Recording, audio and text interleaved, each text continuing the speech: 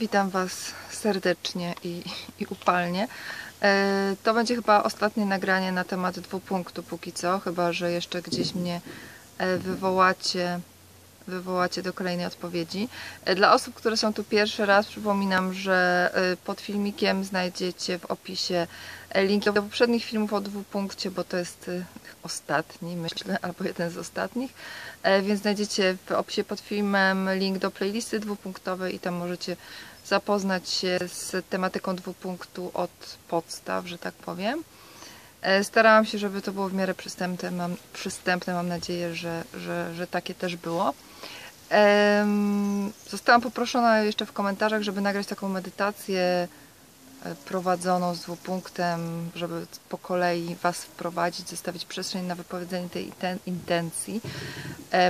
I myślę, żeby coś takiego nagrać, tylko prosiłabym o odrobinę cierpliwości, bo takie nagranie e, typu studio wymaga, wymaga ciszy i, i troszkę większej ilości czasu i przestrzeni e, niż taki film nagrany, nagrany telefonicznie, że tak powiem. Em, I teraz co jeszcze chciałam tak na zakończenie powiedzieć na temat dwupunktu. Tradycyjnie będę chciała trochę, y, trochę Was pobudzić do, do samodzielności, do samodzielnego myślenia. E, Jak to mówił Kant, miej odwagę posługiwać się własnym rozumem. E, Wiem, że z tym dwupunktem troszeczkę jest tak, tak jak mówiłam na początku, że są różne szkoły, bo jest i ten dwupunkt, y, i matryca ge- energetyczna, i synchronizacja kwantowa, w zależności kto jest bardziej wyznawcą Bartleta, kto bardziej Kingslowa i tak dalej. E, I są takie często dyskusje, takie mam wrażenie, że odbiegające od meritum, mianowicie takie, kto ma rację, tak? Kto ma rację, kto lepiej wykonuje dwupunkt, y, jak to, jak bardzo precyzyjnie e, to wszystko trzeba robić. E, A ja chciałam się teraz tak na zakończenie odwołać do, do właśnie do tego, co, co mówił Bartlett i co e, często mówią inni twórcy różnych innych metod, tak, że oni gdzieś tam wpadli na te swoje metody, Bartlett, Bartlettowi gdzieś ta matryca się, się objawiła, e, ale to jest jego metoda i e, on poznając świat, poznając siebie, poznając różne rzeczy, e, wymyślił, wymyślił tą koncepcję. I akurat to ułożenie tych rąk pomaga mu gdzieś tam właśnie wysłać tą intencję w przestrzeń. I stąd te magiczne dwa punkty, tak? Ale jeżeli potrenujecie troszeczkę dwupunkt, trochę popracujecie z tą metodą, to zauważycie, że tak naprawdę nie musicie potem używać tych rąk, tak? Możecie po prostu skupić się, puścić tą intencję tak mentalnie e, i będzie tak. Możecie sobie wyobrazić, tam mm, intencja leci i potem pstryknąć palcami, żeby ją od siebie odciąć, żeby ją uwolnić i żeby już e, działała gdzieś tam w przestrzeni. Więc tych e, wariantów wykonania dwupunktu jest bardzo dużo i zachęcam Was, żebyście szukali swojego wariantu, tak? E, I też jest bardzo dużo, tak jak mówiłam na początku, technik e, bliźniaczych do, do dwupunktu, mm, różnych metod pracy, pracy z intencjami, czy tak jak wspominałam wcześniej już w paru filmach, o tym rysunku intuicyjnym, który y, podobnie pozwala skupić się w takim stanie relaksu, pomaga skupić się na tej swojej intencji i gdzieś tam ją uwolnić z tego, z tej racjonalnej klatki. Więc tych metod jest, jest bardzo dużo i zachęcam Was do bawienia się tym, bo tak naprawdę, żeby, tak jak mówił Bartlett, tak, żeby to wszystko zaczęło działać, żeby przywołać z powrotem magię, e, magię do naszego życia, to musimy mieć ten trening, tak jak było w Alicji w Krainie Czarów, żeby uwierzyć w te 6 czy 10, zawsze się mylę, e, niemożliwych rzeczy z rana, tak, żeby zacząć otwierać, poszerzać swoją percepcję i dopuszczać te cuda te dziwne e, zbiegi okoliczności do swojego życia, żeby zacząć je, e, je zapraszać. E, I, no i to wymaga właśnie pewnej otwartości, poszerzenia, poszerzenia naszej percepcji. I zachęcam Was, żeby tego dwupunktu, czy dwupunktu, czy właściwie każdej innej metody, żeby nie traktować ich tak szalenie poważnie, tak, że musimy to wykonać tak precyzyjnie i, i w idealnych warunkach i tak dalej, bo to nie o to chodzi. Żeby to działało i żeby fajnie działało, tak, to musi być ten flow, tak, e, ten flow, ten przepływ energii, ta pewna lekkość, spontaniczność. Tak, wracamy do, e, wracamy do tej wrażliwości, wrażliwości i patrzenia na, e, na świat oczami dziecka. I dzięki temu te cuda mogą się wydarzyć, tak? Więc jeżeli będziemy starali się bardzo um, kurczowo trzymać metody, to tak naprawdę sami sobie podstawiamy nogę.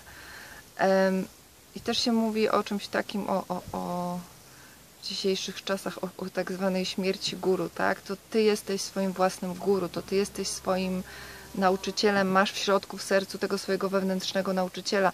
I ten wewnętrzny nauczyciel podpowiada ci, ta twoja intuicja podpowiada ci, która metoda jest dla ciebie najlepsza, jak pracować ze sobą, jak pracować ze swoimi marzeniami, e, którędy iść. Więc tak jak mówiłam, te wszystkie metody są fajne, są inspirujące i otwierające, ale docelowo zaglądajcie do środka, co Wam służy, co Wam nie służy, tak?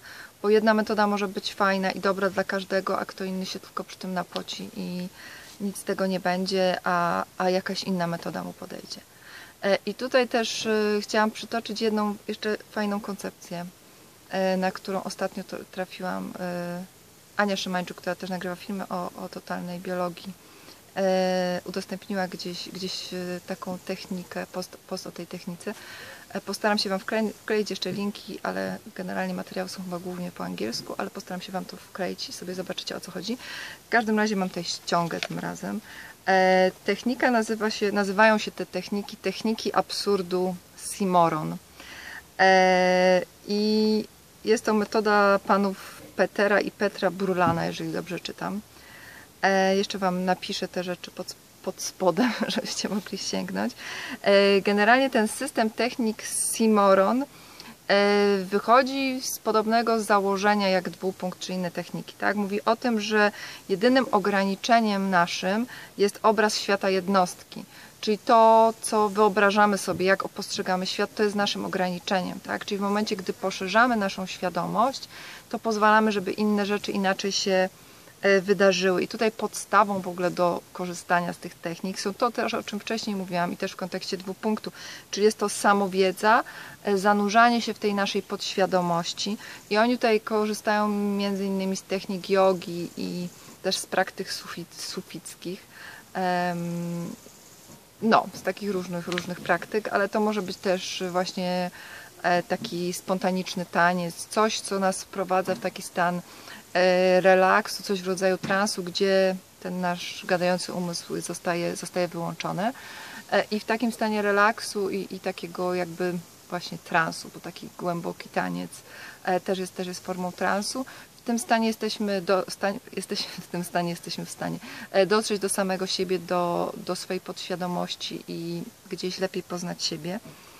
Więc to jest jakby podstawa, żeby zacząć te techniki. I jeżeli chodzi o same techniki, to generalnie koncepcja polega na tym, że nasz racjonalny umysł potrzebuje pewnych rytuałów, tak? Potrzebuje pewnych rytuałów, żeby coś, za, coś zadziałało. E, że trudno nam jest po prostu od tak sobie e, zmaterializować pewne rzeczy e, i potrzebne są nam pewne, pewne triki, tak jak dwupunkt jest pewnym trikiem tak, dla wyprowadzenia naszego racjonalnego umysłu w pole.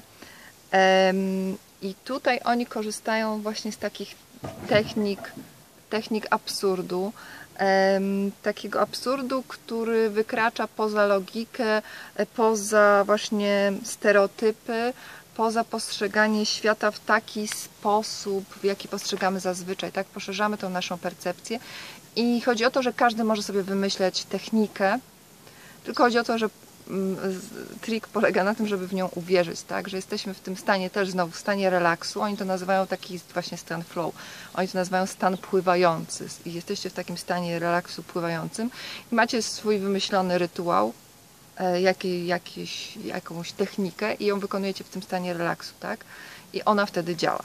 Tak, taka, jest, e, taka jest koncepcja, więc wy możecie być twórcami po prostu własnej metody, tak? I z tego właśnie, tak jak już coś wzięłam, będę musiała chyba nagrać coś o rysunku intuicyjnym.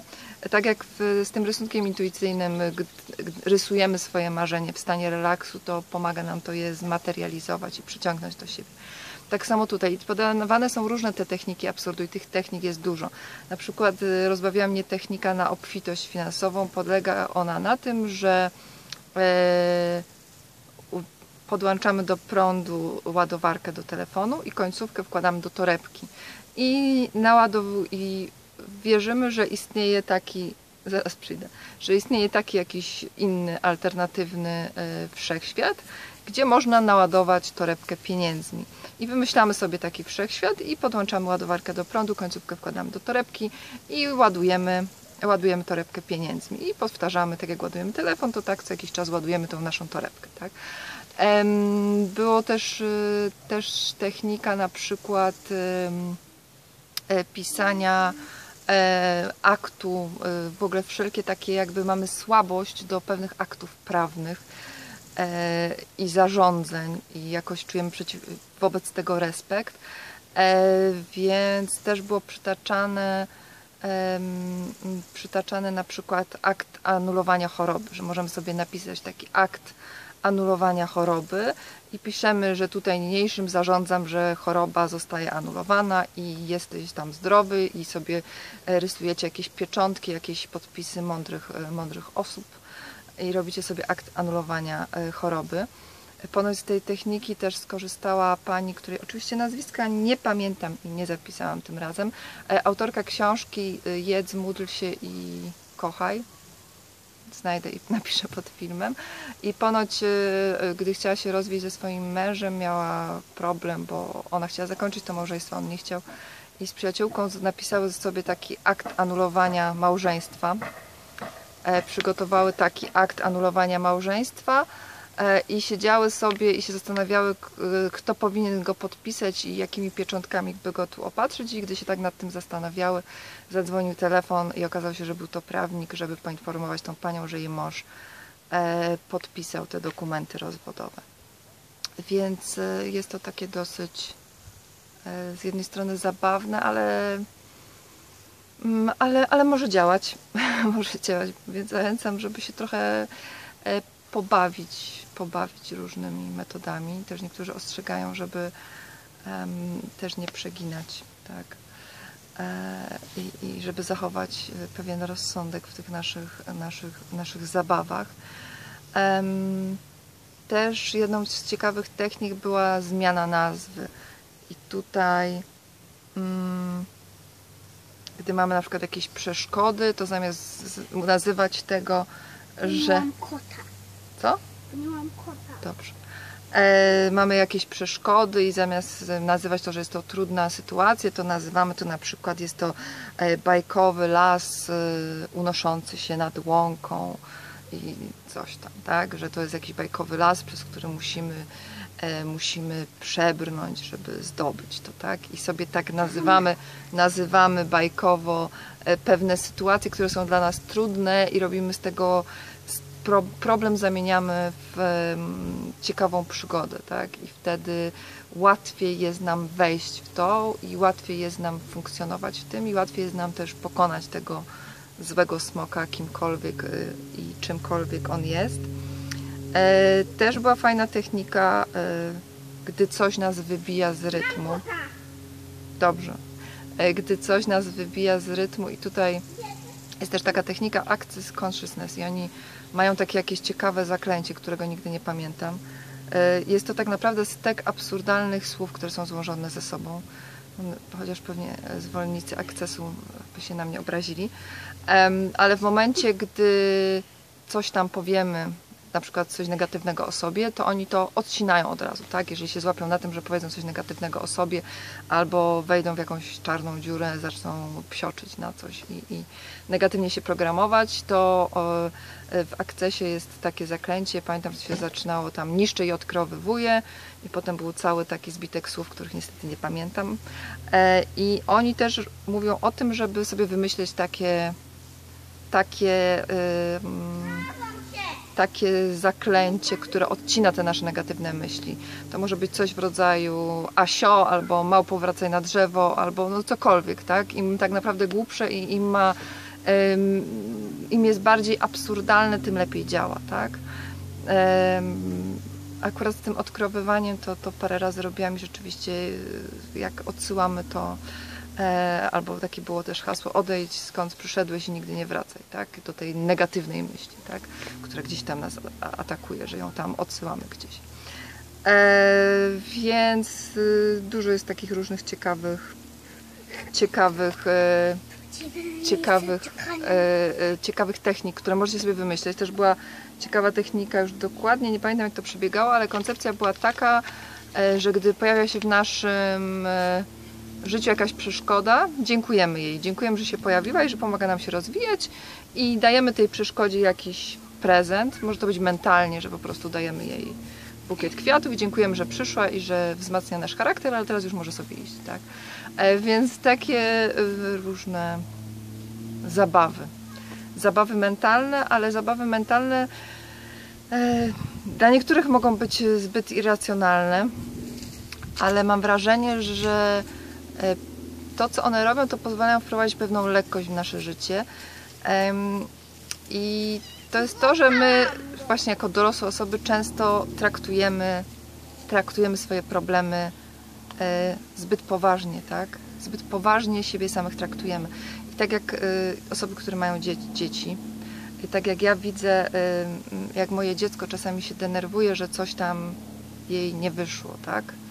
E, nie wiem, tam rysunek się nie udał, tak? To dla mnie to jest, powiedzmy, wydaje się absurdalne, no dobra, nie wyszło ci, spróbuj jeszcze raz, ale gdy zaczynam y, ją jej mówić, że wiesz, możesz to zrobić jeszcze raz, że nie przejmuj się, to łapię się na tym, że sama, y, powiedzmy, dzień wcześniej się denerwowałam, że mi coś nie wyszło, tak? Że na przykład chciałam nagrać film, a sąsiad zaczął kosić i nie mogłam nagrać filmu, bo tu kosiarka, tu piła i jest za duży hałas, żeby nagrać film, tak? I tak naprawdę to moje denerwowanie było tak samo bezsensowne i pozbawione sensu, jak to denerwowanie dziecka, więc my jesteśmy dziećmi, tylko takimi dużymi, tak? I też czasami nam coś nie wychodzi, ale chodzi o to, żeby przejść nad tym do porządku dziennego i próbować dalej, szukać tego, co nas bawi. E, Tak, dziecku zburzy się wieża z klocków, to za chwilę zaczyna budować inną, nową, albo, e, albo wymyśla inną zabawę. Albo buduje domek z piasku, który zaraz zmywa fala, to zaczyna robić pączki z piasku, tak? Chodzi o to, żeby odzyskać tą lekkość dziecka i ten sposób patrzenia na świat taki pełen magii. Więc zachęcam e, też oczywiście do pracy z dwupunktem, ale też do takiej luźnej pracy z dwupunktem, z, tym, z tą lekkością i też do wymyślania własnych technik, które, które gdzieś tam mogą Wam się przydać, które wniosą lekkość, tak? To mogą być jakieś takie codzienne rytuały, tak jak mówiłam Wam kiedyś o tym, żeby e, biorąc prysznic zmywać z siebie złość, negatywne emocje, tak, że czujemy jak te krople wody spływają po ciele i czujemy, że one też zmywają to wszystko, co się, te wszystkie stresy, które się nagromadziły w ciągu dnia. Więc możecie sami, sami pracować ze sobą i szukać technik, które, które z Wami współgrają i do tego Was zachęcam. I do miłego zobaczenia wkrótce.